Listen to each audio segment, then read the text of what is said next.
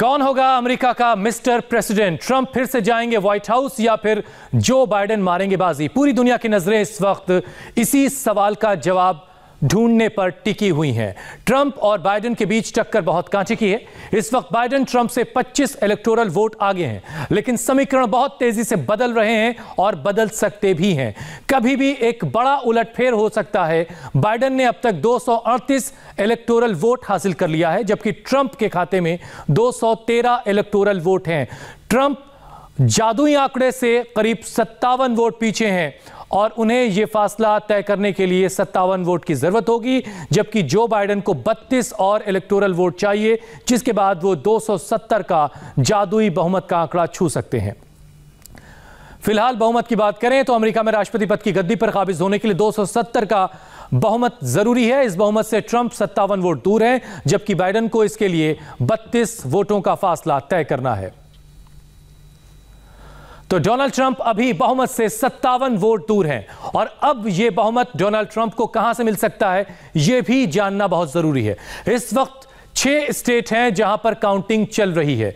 इनमें पाँच swing state हैं, जिसमें जॉर्जिया जहाँ पर 16 इलेक्टोरल सीट हैं नॉर्थ कैरोलिना जहाँ 15 इलेक्टोरल सीट हैं पेंसिल्वेनिया यह बहुत अहम सीट है पेंसिल्वेनिया की, जहाँ पर 20 इलेक्टोरल सीट हैं और दिलचस्प बात यह है कि पेंसिल्वेनिया में करीब चौसठ फ़ीसद काउंटिंग अभी हुई है, यानी अभी अच्छी खासी काउंटिंग बाकी है और सबसे बड़ी बात इसमें यह भी है कि यहाँ पर पोस्टल बैलेट्स काफ़ी हैं, जिसकी गिनती में अभी दो से तीन दिनों का वक्त लग सकता है और ये वही स्टेट है जिसके जिसके लिए लिए खुद ट्रंप ये कह रहे हैं कि इस इस स्टेट में पोस्टल बैलेट की जो काउंटिंग है, उसको रुकवाने के लिए वो देश की सबसे बड़ी अदालत, सुप्रीम कोर्ट का दरवाज़ा खटखटाएँगे। इस बात का वो ऐलान कर चुके हैं। ये मिशिगन, जहाँ पर 16 इलेक्टोरल सीट है और ये वो स्टेट हैं जिसमें से पाँच ऐसी जगह हैं जो जिन्हें आप स्विंग स्टेट कह सकते हैं।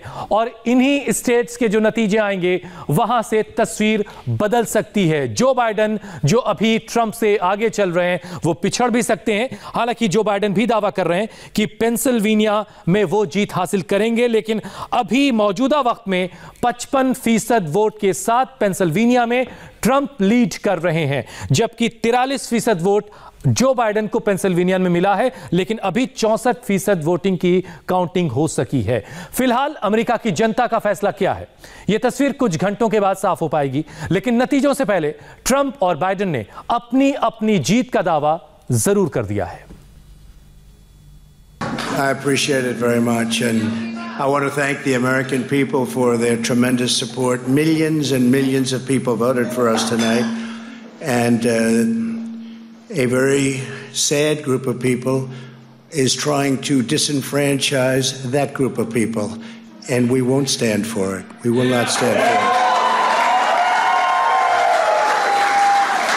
I want to thank the First Lady, my entire family, and Vice President Pence, Mrs. Pence, for being with us all through this.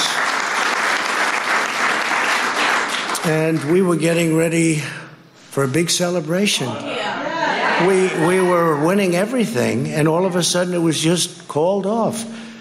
The results tonight have been phenomenal, and we are getting ready. I mean, literally, we were just all set to get outside and just celebrate something that was so beautiful, so good, uh, such a vote, such a success. The citizens of this country have come out in record numbers. This is a record. There's never been anything like it to support our incredible movement. We won states that we weren't expected to win. Florida, we didn't win it. We won it by a lot. And but we're feeling good. We're feeling good about where we are. We believe one of the nets has suggested we've already won Arizona, but we're confident about Arizona, and we're still in the game in Georgia, although that's not one we expected. And we're feeling real good about Wisconsin and Michigan. And by the way, it's going to take time to count the votes. We're going to win Pennsylvania. You know, we could know the results as early as tomorrow morning, but it may take a little longer. As I've said all along, it's not my place or Donald Trump's place to declare who's won this election. That's the decision of the American people. Hey, John, the Gov, yeah, I, I, the whole team, man. You've done a great job. I'm grateful to the poll workers, to our volunteers, our canvassers, everyone who participated in this democratic process. And I'm grateful to all my supporters here in Delaware and all across the nation. Thank you, thank you, thank you. Keep the faith, guys. We're going to win this. Thank you, thank you, thank you. Your patience is great. तो Trump हो या जो Biden हो दोनों अपनी अपनी जीत का दावा कर रहे हैं लेकिन डोनाल्ड ट्रंप ने जो बाइडन पर कई तल्ख टिप्पणियाँ भी की बहुत सी तल्ख बातें जो बाइडन को लेकर के ट्रंप ने कही हैं ट्रंप ने कहा कि जो बाइडन अब कोर्ट जाएँगे क्योंकि उन, उनको पता है कि वो हार रहे हैं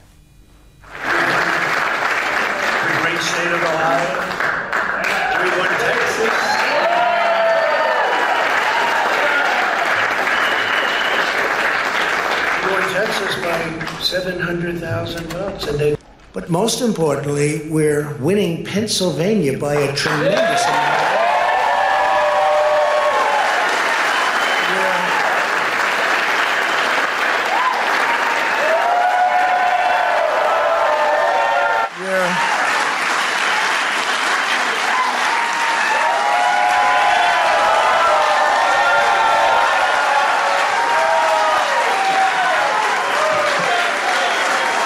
Think of this. Think of this. I said, what happened to the election? It's off. Because you know what happened? They knew they couldn't win. So they said, let's go to court. And did I predict this, Newt? Did I say this? I've been saying this from the day I heard, because either they were going to win, or if they didn't win, they'll take us to court. This is a fraud on the American public.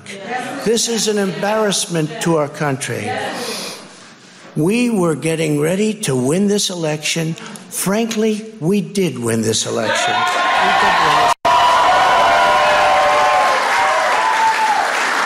So, our goal now is to ensure the integrity for the good of this nation. This is a very big moment. This is a major fraud in our nation. We want the law to be used in a proper manner. So we'll be going to the U.S. Supreme Court. We want all voting to stop. We don't want them to find any ballots at four o'clock in the morning and add them to the list. Okay? It's it's a very sad it's a very sad moment. To me, this is a very sad moment. तो Donald Trump supreme court जाने की बात कह रहे हैं। Ballot paper की counting को लेकर के पेंसिल्वेनिया में काफ़ी बड़े पैमाने पर बैलेट पेपर के ज़रिए वोटिंग हुई है। बहरहाल, अब आपको बताते हैं कि जो बाइडेन ने कौन कौन से स्टेट जीत लिए हैं या फिर वहाँ पर निर्णायक बढ़त उन्होंने हासिल कर ली उसके आंकड़े हम आपको दिखाने जा रहे हैं। जो बाइडन ने कौन कौन से स्टेट्स में कब्जा कर लिया है, ये वो जितने नीले रंग के जितने आप इलाके देख रहे हैं, वॉशिंगटन, जहाँ की बारह इलेक्ट्रोल सीटें हैं ये ये सारे नीले रंग के जो आप स्टेट्स देख रहे हैं, यहाँ पर जो बाइडन यानी डेमोक्रेट्स ने कब्जा कर लिया है, जीत हासिल कर ली है। और इसके बाद अब हम आपको दिखाएँगे ट्रंप ने कौन कौन से स्टेट्स पर कब्जा किया है।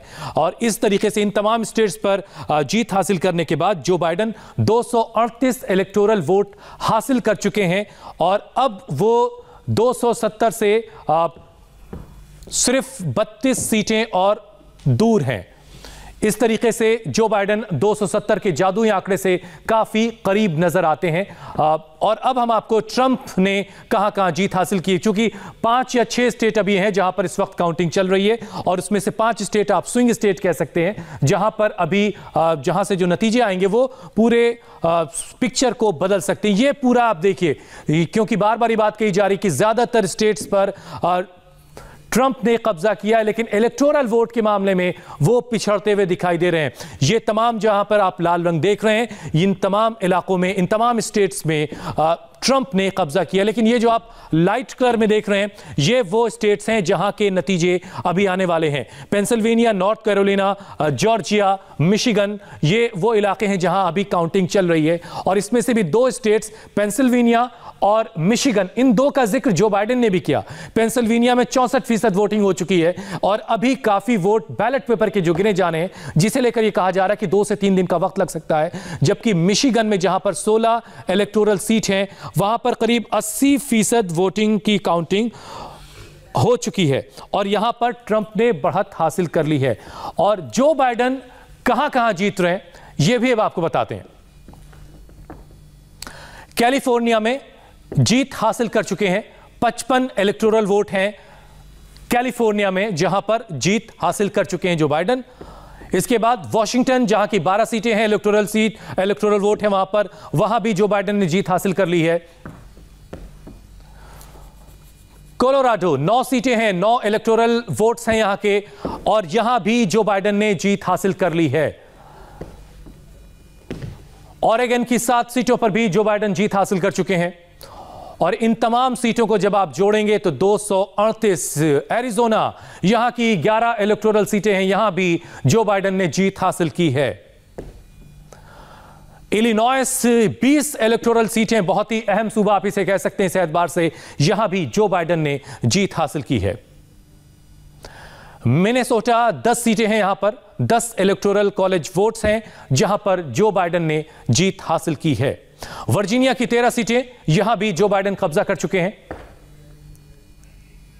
न्यूयॉर्क में 29 सीटें हैं, यहाँ भी जो बाइडन ने कब्जा किया है, जो बाइडन ने जीत हासिल की है यह भी एक बड़ा सूबा, एक बड़ा स्टेट जहाँ पर डेमोक्रेट्स का कब्जा हुआ है। न्यू जर्सी में 14 इलेक्टोरल वोट्स हैं, यहाँ भी जो बाइडन ने जीत हासिल की है।